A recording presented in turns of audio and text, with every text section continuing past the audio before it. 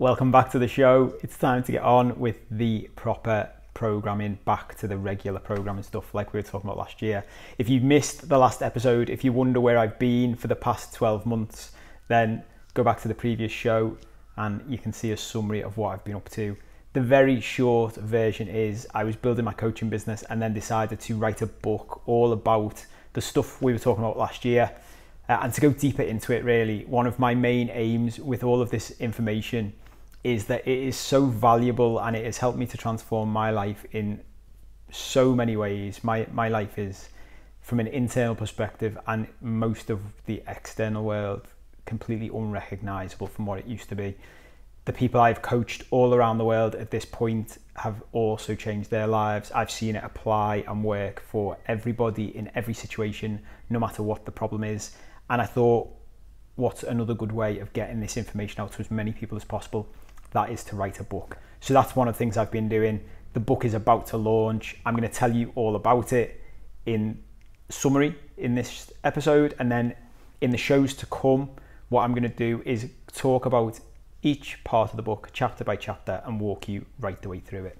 So as much value as I can possibly give you completely free of charge. If you want to buy the book, it will be relatively low cost as well you will see if you were with me last year and if, if you weren't go back and have a look. The last episode i did uh, a, 12 months ago now um, was called the root causes of everything and i tried to summarize everything that i've been working on and we've been talking about with the acronym fate f-a-t-e when i started to dig into this more for the purposes of writing a book and getting deeper into the coaching and then sharing a bit of this as i was away last year i realized that didn't go deep enough. There was too much in this to be summed up in one very short acronym.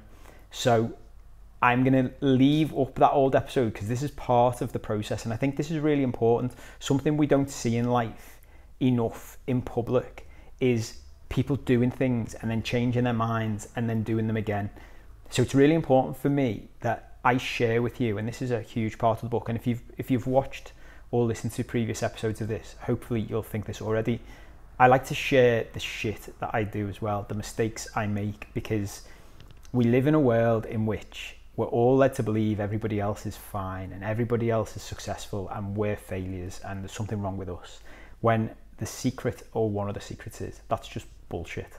Everybody suffers, everybody struggles. One of the lines I say to everyone I work with is we're all just living the same life in different houses one of the biggest gifts I think I give to people when I coach them, and the gift that was given to me when I started working with a therapist and coaches, was letting people know that the things they're going through are just the same as everybody else. One of the biggest problems we all have is thinking that we're on our own, and whatever it is we're feeling or experiencing or thinking is because we're strange or we're damaged or we're broken.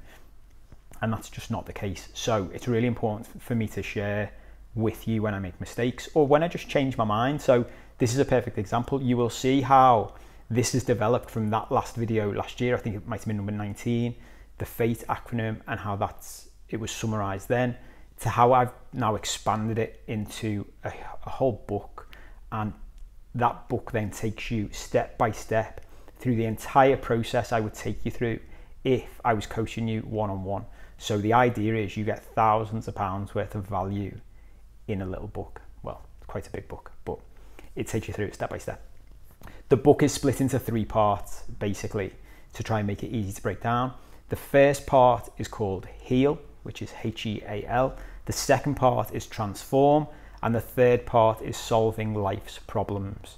So, the idea of this is the work I take people through is firstly to figure out all the reasons that are things that are wrong in your life, which is basically go back to childhood and deconstruct the human we've been built to be. We'll get into that in way more detail in the future. The second part is to then transform into the human you want to be, which is why those things are now split in two. And the third part of the book, I realized if you're gonna be if you're gonna be confident enough to call a book how to solve any problem in life, you'd best put some stuff at the end that shares some big problems and how to solve them. So some of the things I tackle at the end of this book, which if this doesn't make it value for money for 15 quid or whatever it ends up being, I don't know what what would. We talk about love and romantic relationships. We talk about healing illnesses in the body, and we talk about how to change the world. As I say, nothing like taking on the big topics. But the whole point of this is that it doesn't matter what your problem is, from the smallest problem in the world to the biggest problem in the world. This stuff I have witnessed, and I wanted to test this last year when I started coaching people because I believe this would be the case, and it has been. This applies to everything I've ever seen. Whenever anyone comes to me with a problem, no matter how big or small, we work on this stuff, it solves the problem. It's happened in my life, it's happened in everybody I've worked with to different degrees, different elements, different levels of, of issues. I guarantee whatever the issues are in your life, this will apply to you as well. So let's just run through them all quickly. The first section of the book is heal. That, as we as I said, is H E A L. The H stands for home. The E is emotional repression. The A is adaptation, and the L is low self worth. So home is all about going back to the beginning.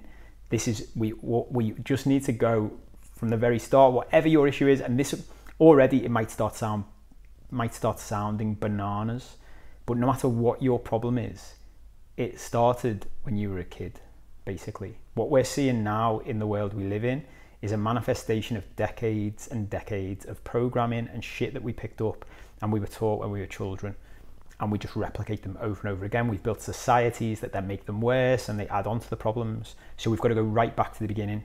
That's why we start with home. The E is emotional repression. That is the second part. If you were watching or listening to any of this last year, you will already have heard me talk about some of this stuff. We're going to get into it in a more structured way, in order, step by step. So, emotional repression is all about when we're kids, we're taught to start turning off and repressing a whole host of emotions that we should experience naturally. And we do experience naturally when we're, when we're born, and then we're taught they're not good.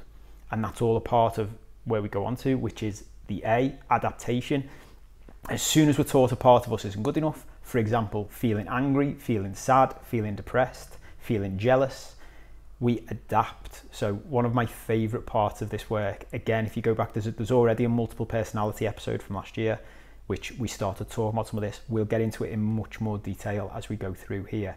It's one of my favourite parts of this work and generally speaking blows people's minds when we do it. It's all about how when we start adapting our own, when we when we start repressing our emotions as kids, we start to adapt our personalities and we start to create new personalities.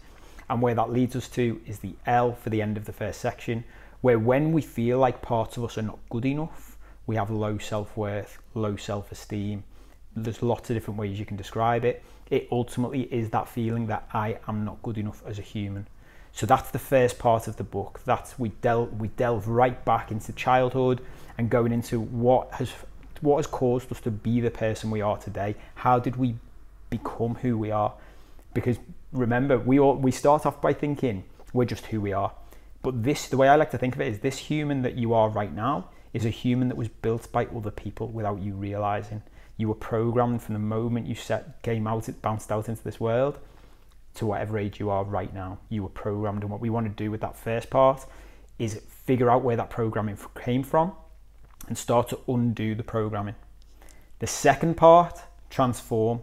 So, one of the biggest sections of all of the work I do, and when people ask me to sum this stuff up, and where's the, I've been doing loads of podcast interviews recently, being interviewed by other people, and everyone always asks, you know, the tip, the hack, what everyone always wants that the real answer to that question is there isn't one. You need to do all of this work for it to work. For, you need to do all of the work for it to be productive or successful. The but this one, the T in transform, take responsibility and be kind to yourself. If I have to pick one thing out, it's this. So one of the problems we face in the world we're in, and we'll see this time and again as we start going through these shows that are to come, I'll show you how this applies in the real world. But even as I start talking about this, you'll you might start to see it and, and experience it more.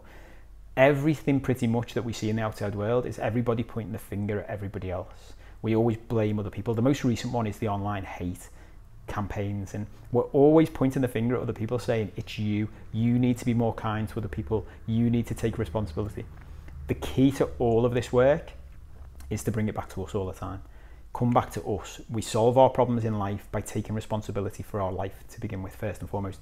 And the second part of that, which is huge, and we will get into it in a lot of detail, is being kind to yourself. It is something I repeat constantly to the people I work with. It is repeated throughout the book time and time again. Being kind to ourselves, something you probably are not aware of if you've got problems in your life. You may be, some people are acutely aware of this, but many people aren't. I wasn't when I first started going through this process.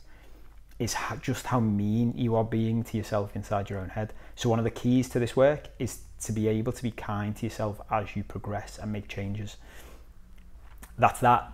The chapter, the R chapter, is realizations, a whole load of things in there about little tips and tricks I've learned over time. Really interesting lessons, important lessons that are the foundation for all of this stuff. The A is accept, allow, and process. So that ties into the, the emotional repression from the first part of the book. It's all about how we can start to learn how to identify our emotions, accept them, allow them, and process them. That's all part of the healing and transformation process. The N is needs, wants, and responsibility uh, needs, wants, and boundaries. So this is all about how we meet our own needs, which we'll get into in a lot more detail. How we meet our own needs, how we figure out what we really want in life, which is not something we talk about much. It's incredible when we get into this, and it it was one of the things that blew my mind a lot because it's. I, th- I think we probably all think we live in quite a selfish world. There's an element of our lives that are not selfish enough, and it's difficult to sum that up because it sounds or it automatically makes people recoil when you say we need to be more selfish. It's being selfish in a very specific way and making sure we're looking after ourselves in order that we can help other people more. So it's being selfish to begin with in order to be more selfless ultimately, which is a huge part of this. The S is one of my favorite things, which again, there was an episode on last year, but we'll we'll dig into it even more. And the, the, it's the stories we tell ourselves. So one of the things that again really shocks people when you get into this is the vast majority of our lives are just stories. That's all it is. The things we tell ourselves about the past, the things we tell ourselves about the future, they're just stories. And when we can see them for what they are and we can break them down and we can stop bullshitting ourselves and we can stop blaming everyone else. One of the things I talk about this, this is like Karate Kid training, if you're old enough to remember the Karate Kid, where you're doing all of these different things to learn loads of different techniques and tools and you might not realize as you go through the process how it's all tying together until you get to the end and then it all comes together. The stories we tell ourselves is a huge part of that. Uh, the f is about finding our true self so that's when we start bringing together loads of the multiple multiple personality work and figuring out who we really are and who we really want to be. The o is a massive part of this as well. It ties massively into the uh, the personality work, which is our darkness, and it's one of the bits that I really love. And it, it it's one of the reasons I hate when people refer to me as a life coach or ask me if I'm a life coach, because to me the story I have in my head about life coaches is it's all about being really positive and telling yourself you're lovely and uh, doing all nice things, and that is not what this work is at all. There is an element of that, obviously, but it's more about looking at ourselves for who we truly are, including our own darkness. That ties into the taking responsibility, it ties into the personality stuff. The R stands for reunite, and that is when we bring all of this together. We, we take all of the work we've done about all the different personalities we have, and we bring it all back to who we're really meant to be and who we really want to be. And the M is make peace, which ultimately wraps it all together and helps us to be at peace with who we really are instead of the stories we've told ourselves over the years about who we are. That is a very quick run through what all the sections are.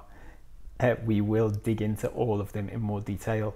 If you want to buy the book, the, the what we'll do in these in these episodes to come is go through all of the theory basically. I might throw in some exercises for you to try out, but we won't go through them all because the book is packed full of the types of exercises I would use if I was coaching you. That something I tell say to everybody I coach is this is not think about it like learning the guitar. People if if I said to you can you play the guitar and you said I can play it in my head, would you count that as being able to play the guitar? No.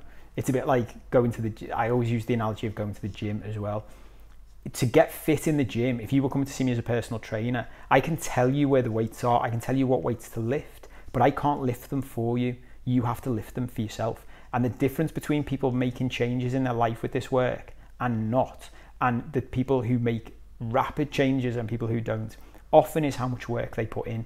No different to training in the gym. You have to put the work in. So the exercises in the book, it's packed full of them, and it's all about sitting down and actually doing the exercises. So we might throw a few in as we go so you can get a taster of them. But if you really want to get value out of this, it's worth getting the book and going through those exercises. Um, and then, as I say, the last section we we hit those those big topics: love, relationships, healing illnesses, changing the world, and I show you how the philosophy and the theory and what I'm seeing in practice now with all of the stuff in the rest of the book can solve these huge world issues. If you want me to, as we go through, I will probably, and I might do this out of interest anyway, as news topics come up, as big news incidents come up, we've got a very big one at the moment. Obviously, as I'm filming this, we're still all being affected by COVID, which massively ties into all of the work I've done and do with people and all of the things I've just run through. Uh, there's so many elements of this stuff that could genu- genuinely transform the planet right now if everybody did all of the work. That's unlikely to happen. It's one of the key things in this. We can't control the rest of the world, we can only control ourselves. So, the key to changing the world, to give you a little hint, is to sort yourself out first. That's what we'll focus on in this work. Um, and any questions you've got, anything that you want answering, if you I've set up a new email address that you can just send questions to, which is questions at paul7cope.com. I'll put that in the show description so you can see. Um, send questions in if you've got problems in your life. What I will do is I might get some people on the show and we can talk them through, and you can see live how we go through these things and we figure them out and we go back to basics and we go back to the beginning and we solve problems that you think is one thing when it's actually another. We'll talk a lot about magic tricks and illusions because I love all of that. Um, and that's it. That's a very quick run, run through of what the book is and where we're going to go with it. I will keep saying as we go through this, you can get the first four chapters of the book for free. So you can try it out either in the written version or the audio version. And you can listen to those chapters, read those chapters. If you don't like them, you can just get rid of it. You never have to hear from me again. If you would like to see them, go to my website, paul7cope.com slash free chapters. Again, I'll put a link in the show notes and check it out. It's, it's a big book. It's, I had to stop myself at one point and I said to myself, I don't have to put everything I've ever thought in this book, but it is packed full of all of this stuff. It's, it's stuff I've spent tens of thousands of pounds thousands of hours and years of my life learning about, and I now coach other people on, and they pay a lot of money to be coached individually on it. Um, the whole point of this is to get it out to more people. As I said earlier, I want I want this information to get out in as in as easy and understand as an easy to understand way as possible to as many people as possible because it can genuinely change your life and if it can my thing about changing the world is if if you can change your life and then you can help one more person change their life. That's how we get viral growth. That's how we change the world. Stop pointing the finger at everybody else, sort ourselves out, help someone else do it. That's how we make a big difference. So that's the point, that's the idea. Get in touch if you've got any questions. Share this with anybody you think might be interested in hearing more about it. There will be some interviews coming up. I've got a big interview I'm going to share with you, which for me is really, really powerful. That'll be coming out in the next week or so to coincide with the book launch. Give me a shout with any questions, any comments you've got, put them in the comments. And that's it. I can't wait to share it all with you. I will see you soon.